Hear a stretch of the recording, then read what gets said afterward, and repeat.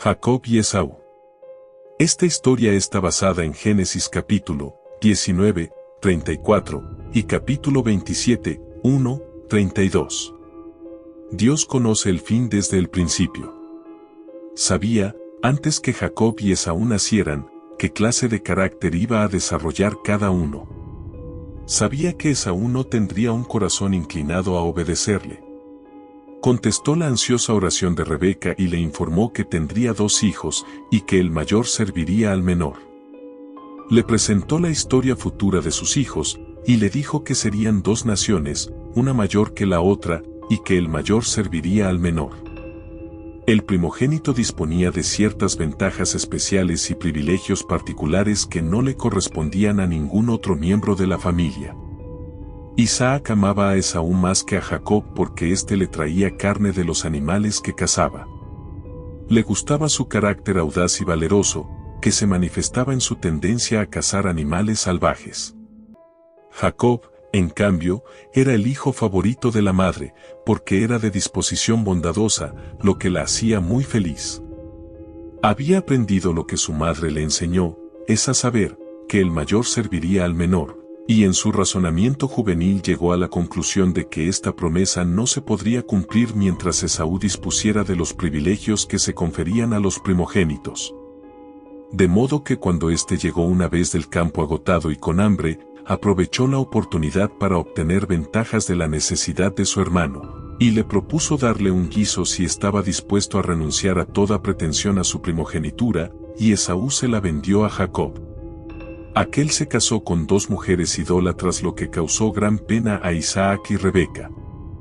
A pesar de ello, el patriarca amaba a Esaú más que a Jacob, y cuando creyó que estaba por morir, le pidió que le preparara una comida para poder bendecirlo antes de morir. Esaú no le dijo a su padre que había vendido su primogenitura a Jacob y que había confirmado la venta con un juramento. Rebeca escuchó las palabras de Isaac y se acordó de lo que había dicho el Señor, el mayor servirá al menor, y se dio cuenta de que Esaú había tomado con liviandad el asunto de la primogenitura puesto que se la había vendido a Jacob. Convenció a éste de que había que engañar a su padre para recibir su bendición fraudulentamente, porque creía que no se la podría obtener de otra manera. Al principio el joven no estuvo dispuesto a llevar a cabo este engaño, pero finalmente consintió en realizar el plan de su madre. Rebeca estaba al tanto de que Isaac prefería a Esaú y se satisfizo con la idea de que la persuasión no lo haría cambiar de propósito. En lugar de confiar en Dios, en cuyas manos están todos los acontecimientos de la vida, manifestó su falta de fe al convencer a Jacob de que había que engañar a su padre.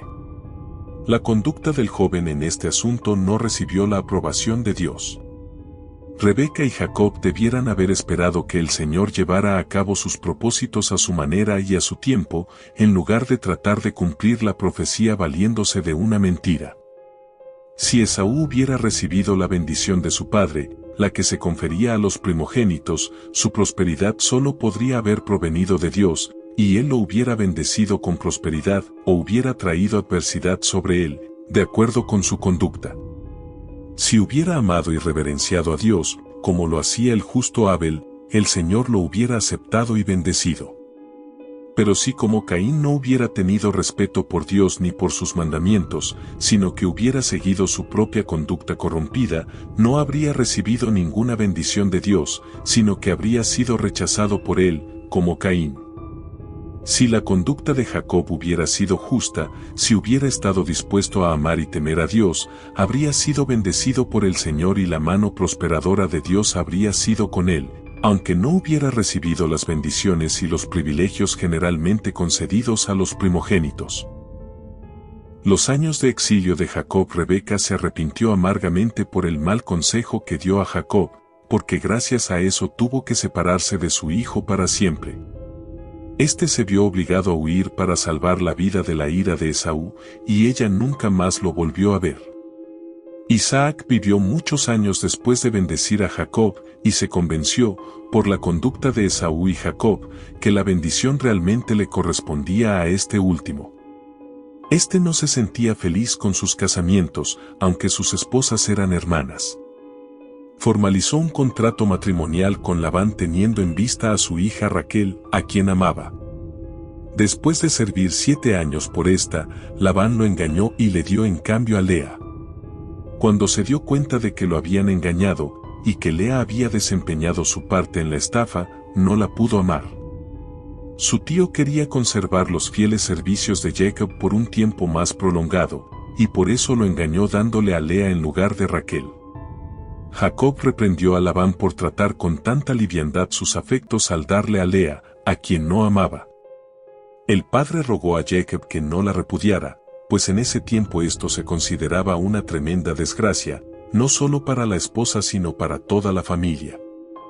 Jacob se vio en una situación muy difícil, pero decidió finalmente conservar a Lea y casarse también con su hermana. Aquella recibió mucho menos amor que Raquel, por supuesto. Labán fue egoísta en su trato con Jacob. En lo único que pensó fue en sacar ventajas de las fieles labores de su sobrino. Este podría haberse apartado mucho antes del artero Labán, pero temía encontrarse con Esaú. Escuchó las quejas de los hijos de aquel, que decían, Jacob ha tomado todo lo que era de nuestro padre, y de lo que era de nuestro padre ha adquirido toda esta riqueza. Miraba también Jacob el semblante de Labán, y veía que no era para con él como había sido antes. Estaba angustiado, no sabía qué camino tomar. Llevó su caso al Señor y le suplicó que lo dirigiera. El Altísimo respondió misericordiosamente su angustiada oración. Vuélvete a la tierra de tus padres y a tu parentela, que yo estaré contigo. Envió, pues, y llamó a Raquel y a Lea al campo donde estaban sus ovejas, y les dijo, Veo que el semblante de vuestro padre no es para conmigo como era antes, mas el Dios de mi padre ha estado conmigo.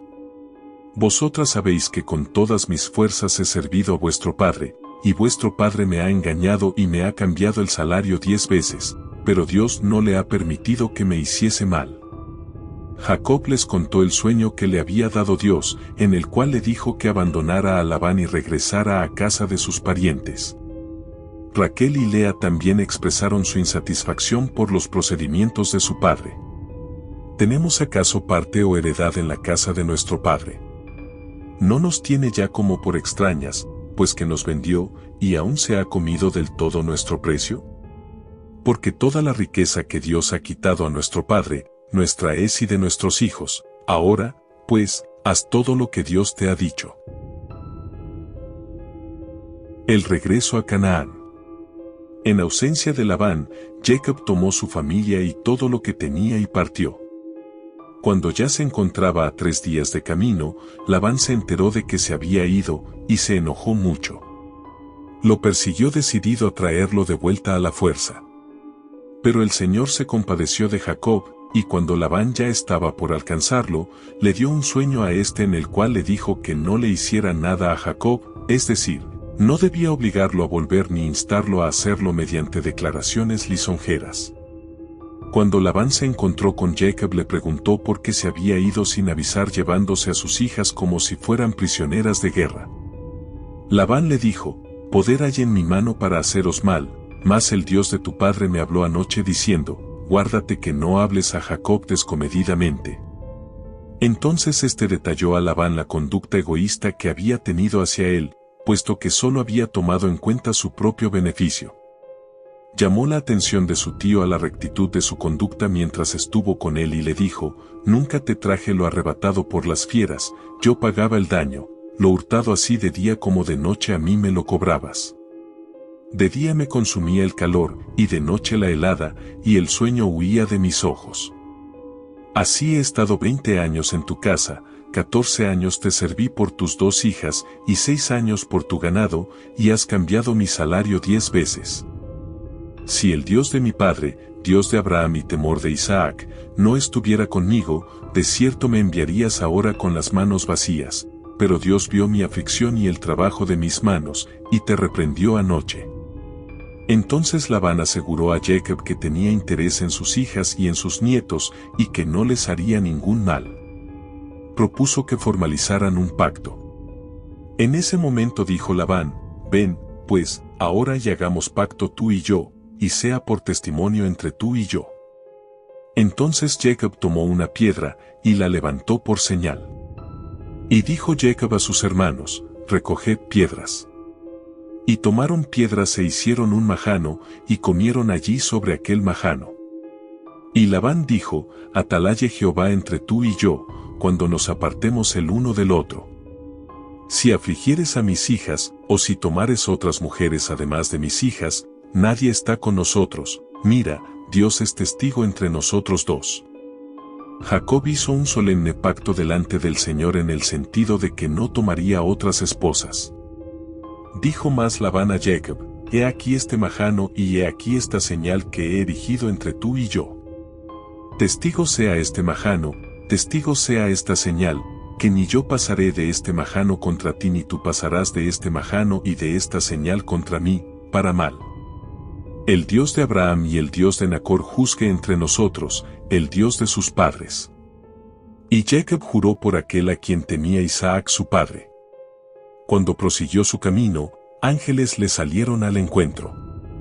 Y cuando los vio, dijo, Campamento de Dios es este. Vio a los ángeles de Dios en un sueño acampados en torno del de él. Entonces envió un humilde y conciliador mensaje a su hermano Esaú, y los mensajeros volvieron a Jacob, diciendo, Vinimos a tu hermano Esaú, y él también viene a recibirte, y cuatrocientos hombres con él.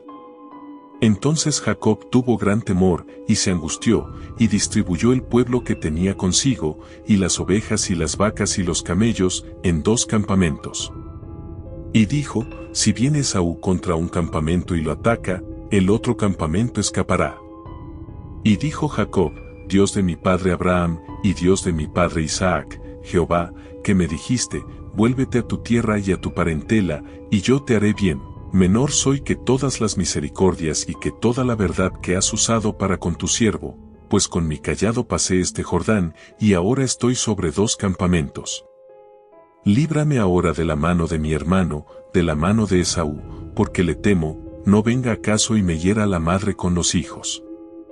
Y tú has dicho, yo te daré bien, y tu descendencia será como la arena del mar, que no se puede contar por la multitud.